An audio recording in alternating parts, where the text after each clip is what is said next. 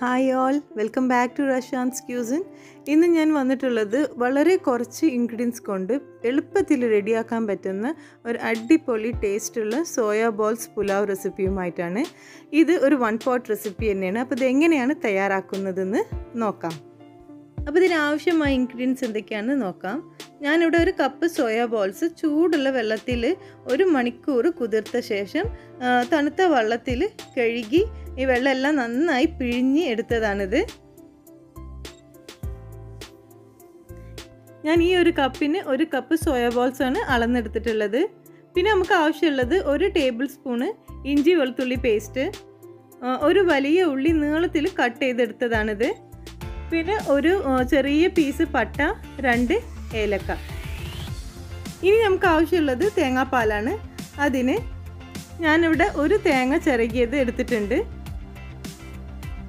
ഇനി ഇതിലോട്ട് കുറച്ച് ഇൻഗ്രീഡിയൻസ് ചേർത്ത് കൊടുക്കാനുണ്ട്. അത് എന്തൊക്കെയാണെന്ന് നോക്കാം ഞാനിവിടെ ഒരു ടേബിൾ സ്പൂണോളം വലിയ ജീരകം എടുത്തിട്ടുണ്ട്. ഒരു പട്ട മൂന്ന് ഏലക്ക രണ്ട് കറുകാപ്പൂവ് എടുത്തിട്ടുണ്ട്. ഇതെല്ലാം നമുക്ക് ഈ തേങ്ങയിലോട്ട് ചേർത്ത് കൊടുക്കാം.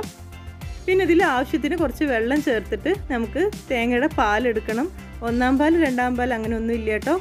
ഇത് ഒരു മൂന്ന് നാല് തവണ തന്നെ കുറേശ്ശെ വെള്ളം ചേർത്തിട്ട് അരച്ച് നമുക്കൊരു നാല് കപ്പ് തേങ്ങാപ്പാൽ എടുക്കണം. അങ്ങനെ നാല് കപ്പ് തേങ്ങാപ്പാൽ എടുത്തിട്ടുണ്ട്.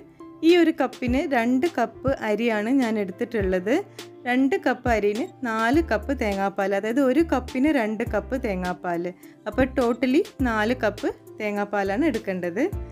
ഞാനിവിടെ രണ്ട് കപ്പ് അരി നേരത്തെ ഒരു മണിക്കൂർ വെള്ളത്തിലിട്ട് കുതിർത്ത ശേഷം കഴുകിയെടുത്തതാണ്. നമുക്കിത് മാറ്റി വെക്കാം ആദ്യം ചൂടായ പാനിലോട്ട് ഒരു മൂന്ന് ടേബിൾ സ്പൂൺ വെളിച്ചെണ്ണ ചേർത്ത് കൊടുക്കുക. ഈ വെളിച്ചെണ്ണ ഒന്ന് ചൂടായി വരുമ്പോൾ നമുക്ക് അതിലോട്ട് ഒരു പട്ട രണ്ട് ഏലക്ക അത് രണ്ടും ചേർത്ത് കൊടുത്തിട്ട് അതൊന്ന് പൊരിഞ്ഞ് വരട്ടെ. ഇനി ഇതിലോട്ട് നമ്മൾ നേരത്തെ ചോപ്പ് ചെയ്തെടുത്ത വലിയ ഉള്ളിയും ചേർത്ത് കൊടുക്കാം. ഇതിലോട്ട് കുറച്ച് ഉപ്പ് ഞാൻ ചേർത്ത് കൊടുക്കുന്നുണ്ട്. ഉള്ളി പെട്ടെന്നൊന്ന് വാടി കിട്ടാനാണ്. ഉള്ളി ഏകദേശം ഒന്ന് വാടി വന്നിട്ടുണ്ട്. ഇനി ഇതിലോട്ട് ഇഞ്ചി വെളുത്തുള്ളി പേസ്റ്റും ചേർത്ത് കൊടുത്തിട്ട് നന്നായിട്ടൊന്ന് മിക്സ് ചെയ്ത് കൊടുക്കണം.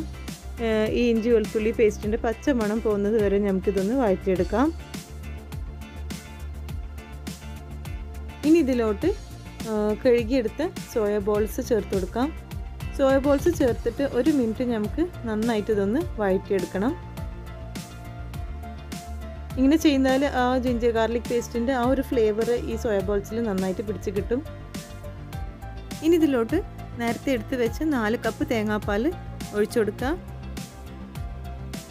തേങ്ങാപ്പാൽ ഒഴിച്ചു കൊടുത്ത ശേഷം ഇതിലോട്ട് നമുക്ക് ആവശ്യത്തിനുള്ള ഉപ്പ് ചേർത്ത് കൊടുക്കണം. നേരത്തെ ഉള്ളി വാട്ടിയെടുക്കുമ്പോൾ കുറച്ച് ഉപ്പ് ചേർത്തിട്ടുണ്ട്. അപ്പോൾ ഉപ്പ് നോക്കി അഡ്ജസ്റ്റ് ചെയ്ത് ചേർത്ത് കൊടുക്കണം. ഇനി നന്നായിട്ടൊന്ന് മിക്സ് ചെയ്ത് കൊടുത്ത ശേഷം ഹൈ ഫ്ലെയിമിലിട്ടിട്ട് ഇതൊന്ന് അടച്ച് വെച്ച് തിളപ്പിച്ചെടുക്കാം.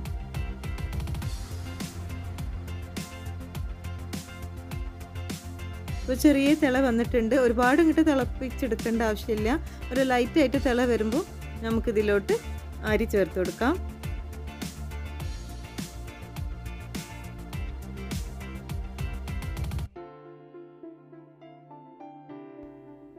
ഇനി ഫ്ലെയിം ഒന്ന് ഹൈയിൽ ഇട്ട് വീണ്ടും അടച്ച് വെച്ച് ഇതൊന്ന് തിളപ്പിച്ചെടുക്കണം. ഇപ്പോൾ തേങ്ങാപ്പാലൊക്കെ നന്നായി തിളച്ചിട്ടുണ്ട്. നന്നായിട്ടൊന്ന് മിക്സ് ചെയ്ത് കൊടുക്കുക.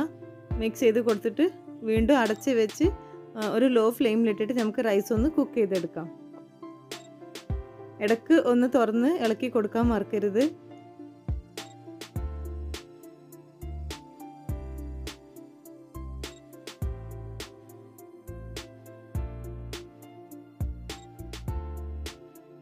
സോയ ബോൾസും റൈസും എല്ലാം നന്നായി കുക്കായി വന്നിട്ടുണ്ട്. വെള്ളമെല്ലാം കംപ്ലീറ്റ് ആയിട്ട് ഡ്രൈ ആയിട്ടുണ്ട്.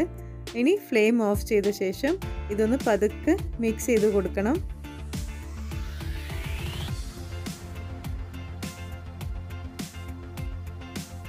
ഇനി ഇത് അടച്ച് വെച്ച് ചൂടോടെ സെർവ് ചെയ്യാം.